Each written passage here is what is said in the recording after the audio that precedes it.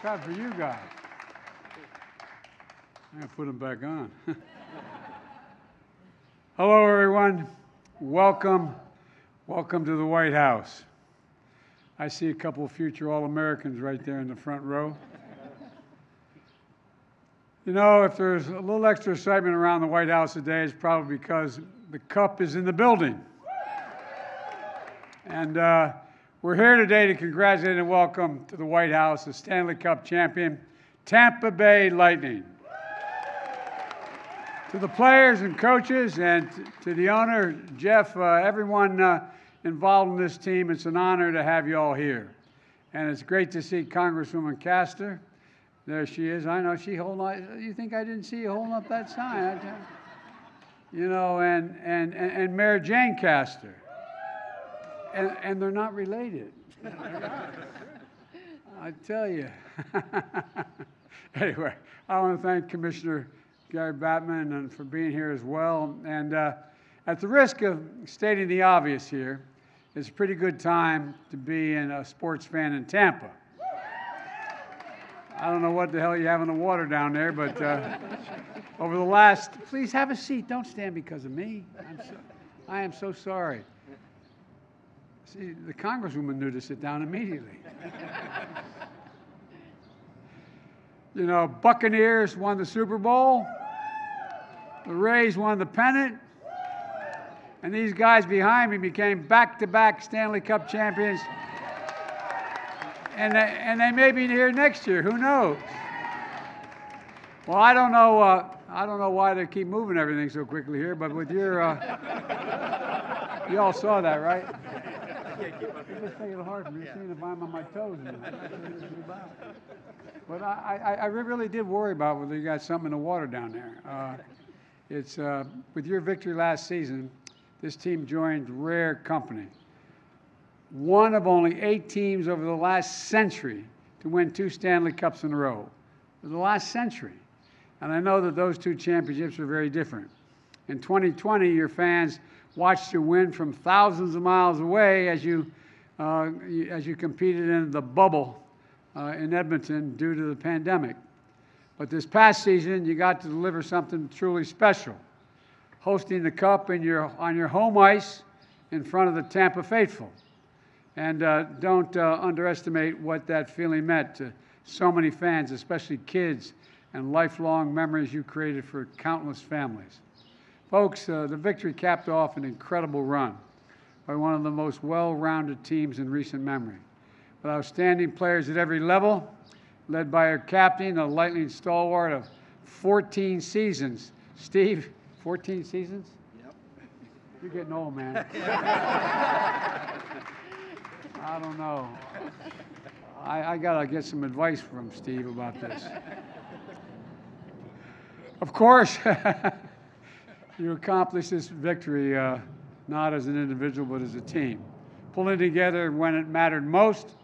And now the names of every single one of you will be engraved in the Stanley Cup for all time. And that is a big deal where I come from. And this team didn't just step up on the ice, you stepped up in the community as well. You know, through your uh, Lightning Community Hero program, you've delivered more than $25 million in critical causes to the region, for critical causes in the region.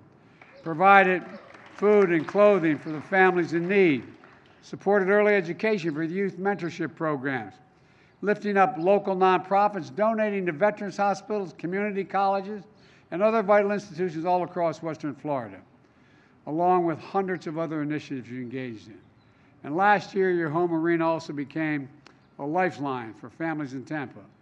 The First Lady, and I am Jill's husband, uh, came down with Dr. Fauci during the Stanley Cup semifinals to encourage hockey fans to get vaccinated at your arena through a program called, called Shots on Ice, helping save lives, helping bring us back to our lives and loved ones, and helping the country and our, and our economy go from being on the mend to on the move. Look, I'm not saying that the First Lady being there at the arena during the playoffs is why you won, but just saying that she was there during the election season as well. She seems to show up when people win. And uh, just something to think about. So thank you all for the great work you're doing in the community, and congratulations again for all the great work you've done on the ice. And I want to wish you good luck in the upcoming playoffs. Who knows, as I said, you may be here next year if you're willing to come back. Uh, but, uh, but for now, let's uh, bring up Jeff to say a few words. Jeff, the podium is yours. Where, there you go. I got to find my blue dot. Yeah, you do. Right over here, okay. Thank you, Mr. Thank you, Mr. President. Now, we don't get to hear, to be here very often, so you can stand up for me. Told you I'd use one joke. Anyway, so Mr. President, on behalf of myself, the Tampa Bay Lightning players, coaches, staff, and all of Bolts Nation watching across in Tampa, across North America, and around the world, we would like to thank you for hosting us today. It's a tremendous honor to be here, tremendous, at the White House celebrating our back-to-back Stanley Cups. It's been a long time coming for the Lighthouse, the Lighthouse, the Lightning. After three championships. That's how I felt. And by the way, our playoffs start in a week. The First Lady is welcome back. You've already told us she's good luck. I don't know about you yet, but we'll be- we're happy to have her come back. So after three championships, the first one of which was about 18 years ago, we're extremely excited to finally make our first appearance here on Pennsylvania Avenue after missing out in previous years due to a bunch of different circumstances.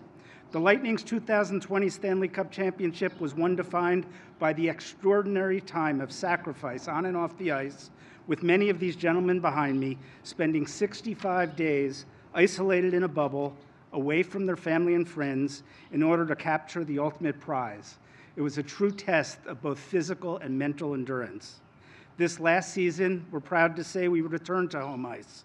And after starting the season with no fans, we capped it off with our second consecutive Stanley Cup championship in front of a roaring capacity crowd at Amalie Arena.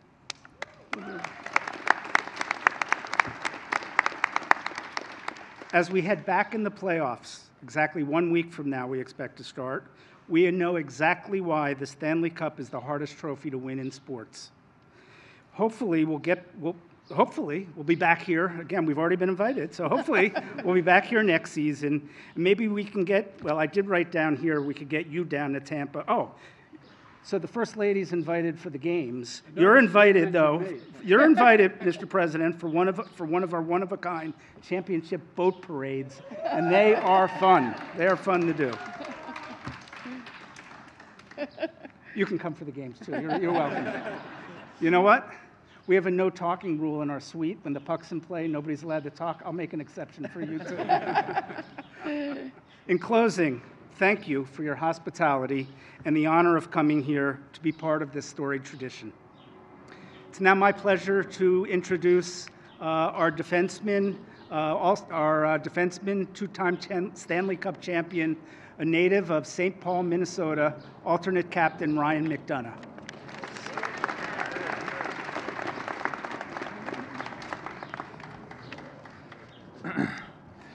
Thanks, Mr. Vinik.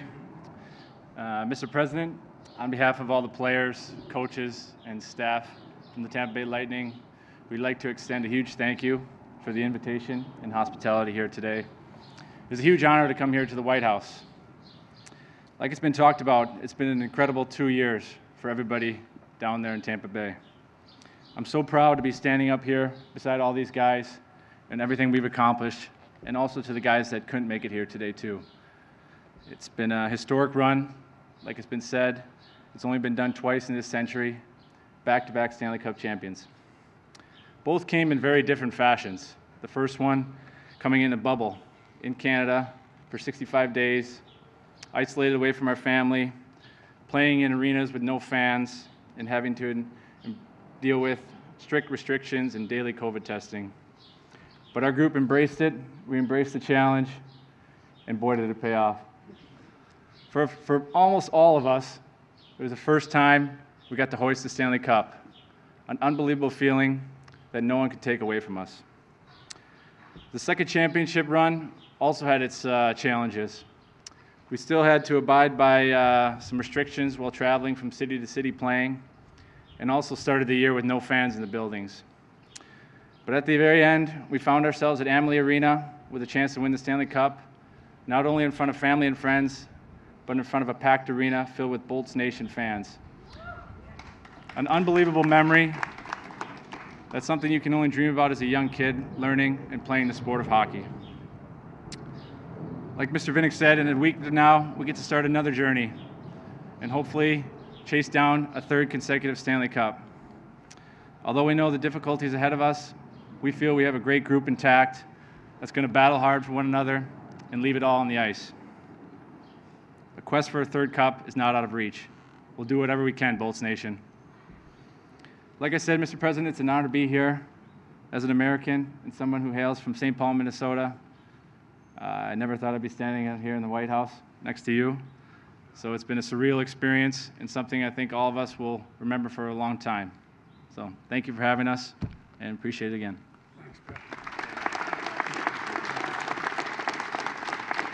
I think uh, Victor and Steven have some gifts for you now. We all like gifts, right? I got to report every one, but. All right. There you got this nice stick. Walk over to the cup a little bit. Steve. Walk over to the couple of them. Yeah, let's do All right. Want to hold the stick? It's heavy. Whoa. No wonder you guys win.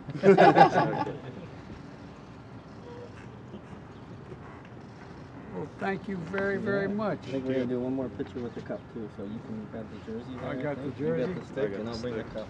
All right.